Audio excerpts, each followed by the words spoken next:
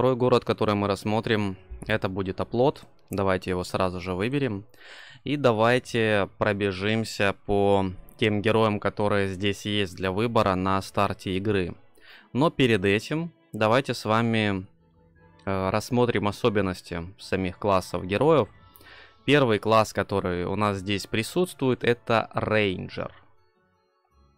И если мы посмотрим на вероятность получения вторичного навыка, то чем рейнджеры в принципе примечательны, во-первых, э, у них э, огромный шанс на доспехи 8%, на сопротивление 9%, то есть они и в бою, и против магов чувствуют себя довольно-таки комфортно. Помимо этого есть 8% шанс на стрельбу и поиск пути. Причем поиск пути, ну, очень специфический такой навык. Он нужен далеко не всегда, но все же иногда нужен. Особенно на том же Джебусе может пригодиться. А вот стрельба, с учетом того, что лучники имеются, ну, это всегда, наверное, ну или в большинстве случаев не лишний навык. Также неплохой шанс на разведку, 7%. 6% на лидерство и удачу. Кстати, удачу реально очень часто предлагают качнуть. Ну и 6% на артиллерию, что, наверное, не лучший навык. И, в принципе, если сравнивать вот прокачку воинов замка Касл человеческого и замка Оплот, мне прокачка воинов Оплота нравится гораздо больше. Но, опять же, в зависимости от того, как вам сдало по раскладу, какой шаблон вы играете, какие правила и так далее. Также в начале у рейнджеров 35% шанс на атаку при прокачке, 45% на защиту. В принципе, они точно так же, как и рыцари, имеют э, шансы на защиту на 10% выше, чем на атаку. И точно так же сила магия и знания у них по 10% до 10 уровня. Поэтому в плане первичных навыков они с э, воинами Касловского замка, в общем-то, равны. А вот э, когда 10 уровень качается, тогда они тоже выравниваются и тоже в этом компоненте равны воинам замка Касл. Тоже 30 атака, 30 защита, 20 сила магии и 20 знания. Именно такие проценты стоят.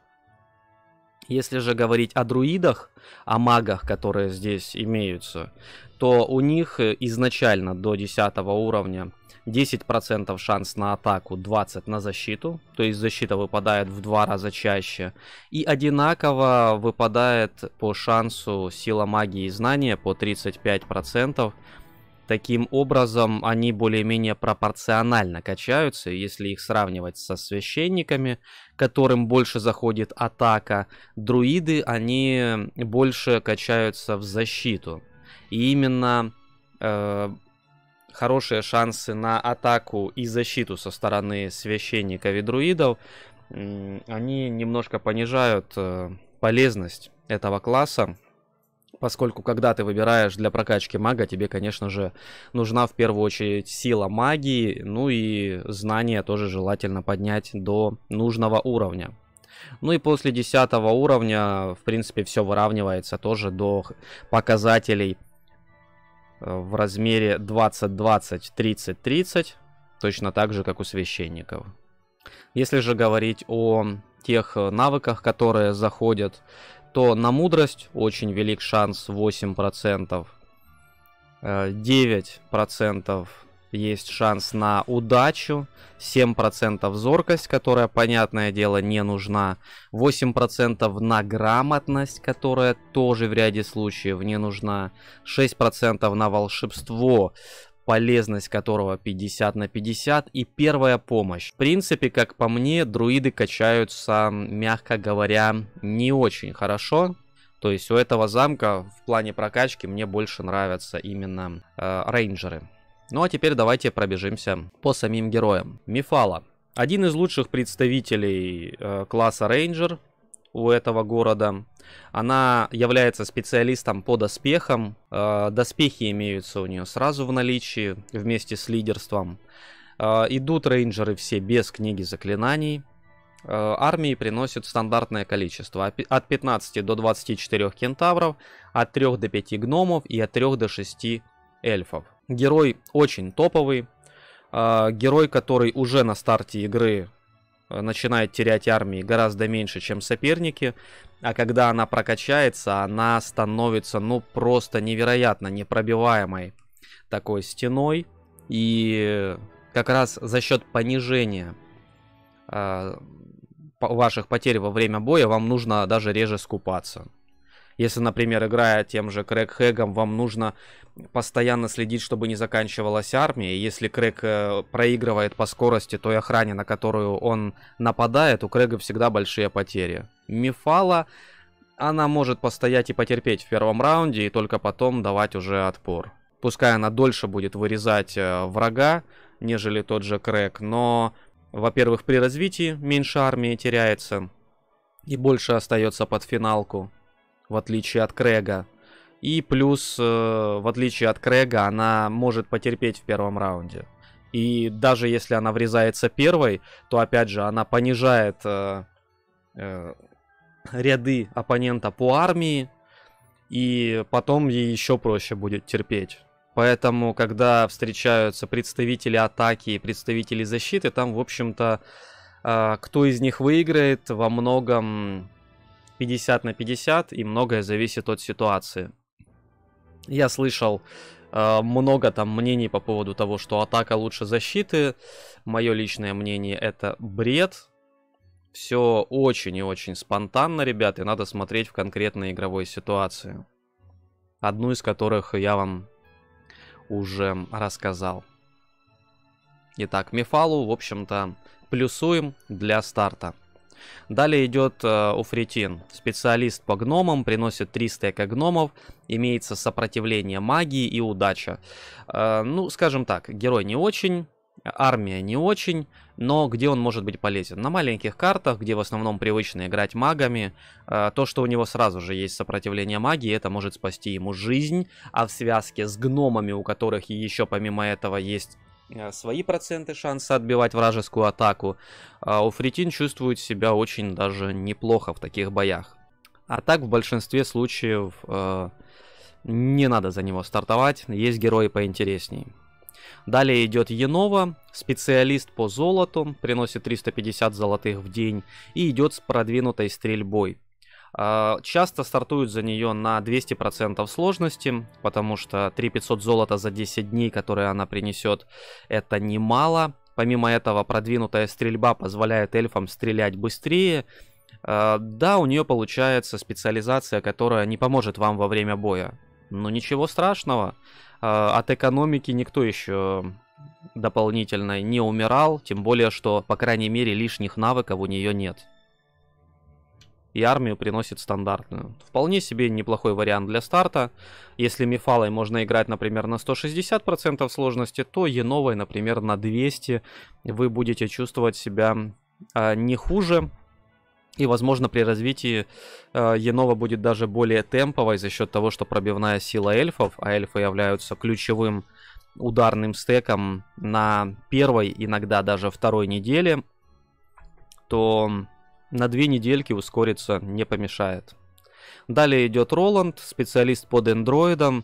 Ну, Роланда берут обычно при игре без правил, потому что у него сразу же есть дипломатия, которая позволяет присоединять разные войска на карте.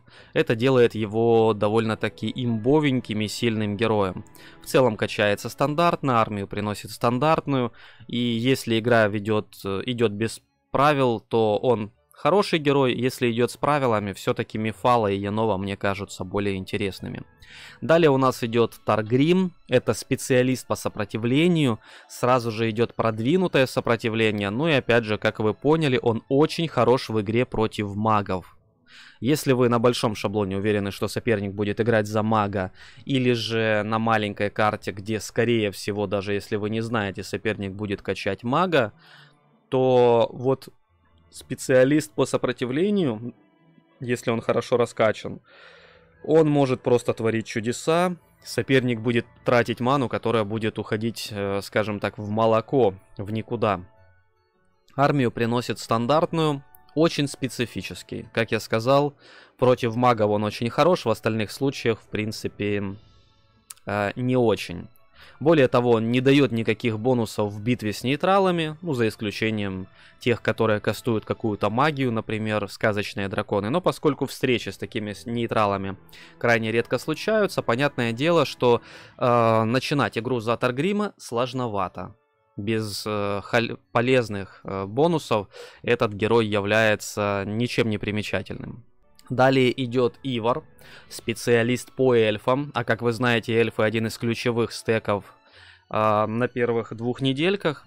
В этом случае он приносит, во-первых, от одного до двух э, стеков эльфов. В редких случаях он приходит с одним стеком кентавров без эльфов. И в основном стартует за него для того, чтобы он больше эльфов принес на старте.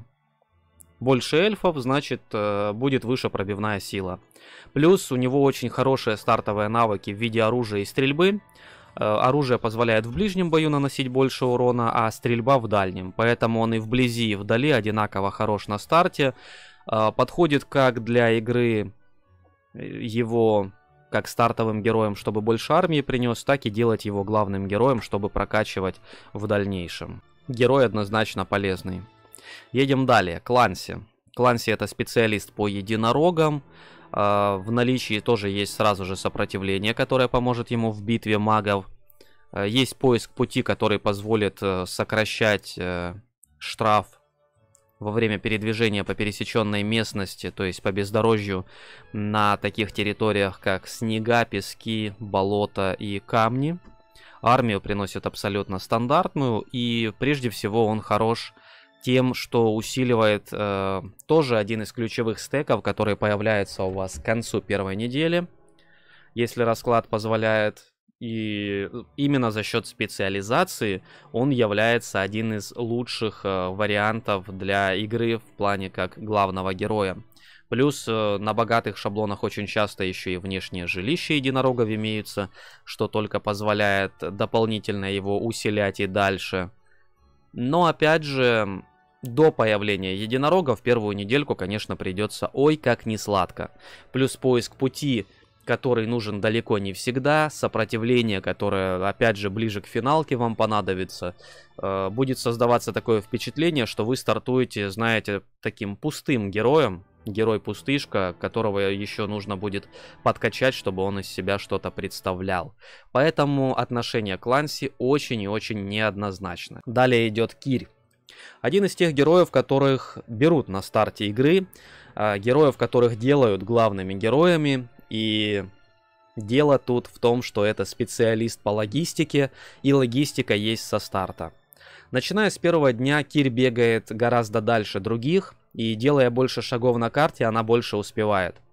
При этом она, бегая по карте, качается, а, качаясь, ее очки перемещений продолжают расти, и уже даже к концу первой недели или на второй недельке Кирь настолько сильно начинает опережать противника по зачистке карты, что за ней крайне сложно угнаться. Именно специалистов по логистике считают очень имбовыми героями, но, во-первых, она немножечко усиляет стрелков, и когда есть хорошее количество эльфов, она очень даже неплоха.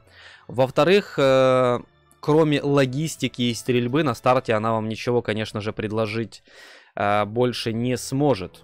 Особого усиления ваши войска получать не будут. Э, армии тоже будет не так уж и много. Эльфов она приносит с собой далеко не всегда. Скорее, чаще не приносит, чем приносит. Поэтому в этом плане вам придется, конечно, попотеть на старте. Но если вы игрок опытный, и для вас не важно иметь много армии на старте, то Кирюшка может себя очень и очень хорошо оправдать, и сопернику придется на протяжении всей игры пытаться угнаться за вашим темпом, который вы будете показывать. Далее переходим уже к воинскому, от воинского класса к друидному, к магам, да. У нас имеется Корониус, друид, специальность у него убийца, именно такое заклинание есть в книге заклинаний. А друиды стартуют именно с книжкой заклинаний на старте, ее не нужно будет за 500 золота покупать в гильдии магов, что уже хорошо. А, имеется грамотность и мудрость. Корониус, он больше хорош как вспомогательный герой. Который будет изучать между разными героями разные заклинания, переучивать их другим героям, и не надо будет даже главным героям посещать какие-то города, чтобы узнать новые заклинания. Корониус, если он раскачает грамотность, сможет передавать разным героям заклинания с первого по четвертый уровень. Ну, это там находится, в принципе, большинство заклинаний, которые вам будут нужны. Армию приносит стартовую, играть как главным героем не советуюсь, потому что специализация не очень полезная. Заклинание палач используется крайне редко. На 100 партий вы можете даже ни одного раза не увидеть, когда оно будет использоваться. Поэтому очень специфичный герой. Ну и грамотность для главного героя это все-таки очень специфическое умение. Оно, конечно, может и пригодиться, особенно если главный герой в ящике Пандоры или где-то найдет э, хорошее заклинание, которое можно будет передать другим героям, например, воскрешение или некромантию. Точнее, воскрешение или поднятие нежити, и ваши герои начнут сражаться тоже без потерь, даже вспомогательные саппорты. Это в определенный момент может очень сильно оправдаться. Но так, в целом, пожалуй, нет. Не советуем для старта. Дальше идет Улант, специалист по лечению. Также есть заклинание лечения на старте. Ну и опять все портят э, имеющиеся навыки. С одной стороны, э, у него продвинутая мудрость и основная баллистика, что позволяет катапультой стрелять быстрее. И это делает э, его по вторичным навыкам, ну, одним из самобыстро качающихся героев, в том плане, что у всех э, либо два базовых навыка, либо один продвинутый. А у него один продвинутый и один э, базовый, как будто он уже идет герой второго уровня даже, как будто немножко подкачался. Но все бы ничего, если бы баллистика все это дело не портила. Она занимает слот э, во вторичных навыков, а как вы знаете, этих слотов не так уж много, и желательно эти слоты заполнить теми навыками, которые вам нужны. Армию приносит стартовую, в целом к старту тоже его не будем с вами выделять. Далее идет Элизар или Эльшар в разных переводах. Специалист по интеллекту. Сразу же со старта игры имеет огромное количество маны, как для старта. А, имеет мудрость и интеллект, который увеличивает количество маны. В наличии есть заклинание проклятия, которое в некоторых боях может оказаться даже полезным. Армию приносит стандартную. Один из лучших магов, если вы собираетесь играть через мага, которые есть в наличии у этого города. Как минимум огромное количество маны, которое будет только увеличиваться с прокачкой, вам обеспечено. Основная проблема Элизара, как в принципе и всех друидов, это плохо растущая сила магии. Это прям э, ахиллесова пята этого класса героев. В принципе, для старта за мага хорош. Едем далее. Джем, она тоже приходит с палаткой, тоже специалист по первой помощи. Первая помощь есть и в слоте вторичных навыков. Ну, как вы помните, во-первых, меньше армии приносит с собой в наличии, что уже минус. Во-вторых, э, в книге заклинаний вызов корабля, что нужно только если вы играете с водой. В большинстве случаев играют все-таки без воды. Герой слабый, будем говорить откровенно. Мало где он вам может быть полезен, кроме как э, в игре на воде палатка и специальность первой помощи в большинстве случаев они себя оправдывать не будут. Разве что в каких-то простеньких э, и средней сложности боях. В общем, нет. Это не то, что надо. Далее идет Малкольм. Э, специалист по зоркости. И зоркость есть у него в навыках вместе с мудростью. Э, армию приносит стандартную. Единственное, что есть в нем хорошее, это то, что он стартует уже имея волшебную стрелу.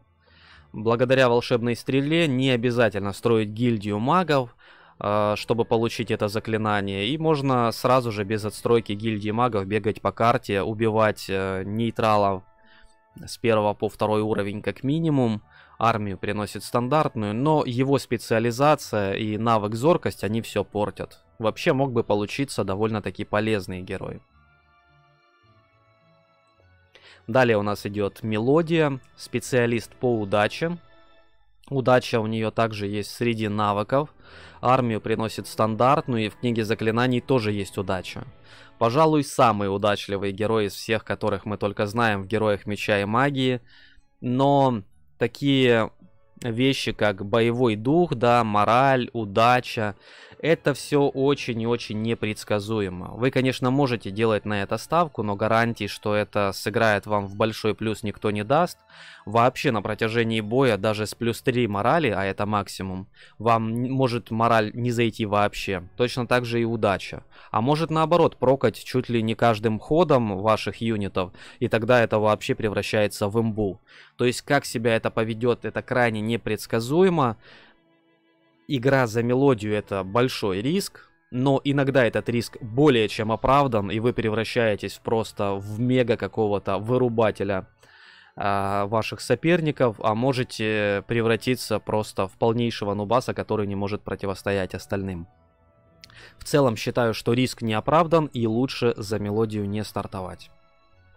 Следующим хорошим, кстати, друидом, который может применяться в битве на маленьких картах, а также в игре через мага, это Алагар. Во-первых, отличная специализация героя в ледяную молнию, которую он усиливает. Это же ледяная молния, водное заклинание, оно есть у него в книге заклинаний. Плюс уже имеется волшебство, которое еще увеличивает в процентном соотношении урон от магии. И имеется мудрость. Армию приносит стартовую. И в целом Алагар э, в дружбе с Элизаром, они являются лучшими героями. По силе магии лучше Алагар, потому что он больнее бьет. По количеству маны, а в совокупности и по количеству заклинаний, которые вы можете во время боя успевать делать, лучше Элизар. Тут уж вы для себя сами решайте, что для вас важнее, больше маны или более сильная магия. Ну и Аэрис. Аэрис это довольно интересный герой, Интересный в каком плане? Дело в том, что это один из самых быстрых героев э, в игре, которых вы можете покупать. То есть как, сразу, как вы его только купили, э, у нее есть разброс по тем очкам перемещения, которые могут ей дать. И если это ближе к максимуму или максимум, который ей выпал, то она может ходить очень далеко со старта. Это большой плюс. Является специалистом по пегасам, имеется мудрость, но в книге заклинаний э, лежит защита от воздуха. В большинстве случаев она вам не пригодится, но опять же э, ее полезность в ней вполне может быть. Но крайне редко. И опять же все портит разведка. С одной стороны, разведка полезный навык, особенно для разведчиков – с другой стороны, ну для главного героя, наверное, хотелось бы более полезные ключевые навыки успеть взять. Но иногда разведка очень решает, даже если она есть у главного героя. Например, на том же Джебусе, когда вы выходите в центр, чтобы с большим шансом засветить где-то дальше от дорожки какой-то важный объект, за которым нужно сбегать. В общем, она может э, сократить за счет разведки работу вашим разведчикам, чтобы им меньше приходилось бегать вокруг и что-то там разведывать. Но в целом, я думаю, что герой очень средненький, и стартовать, не стартовать за него, скорее, я думаю, что лучше не стартовать.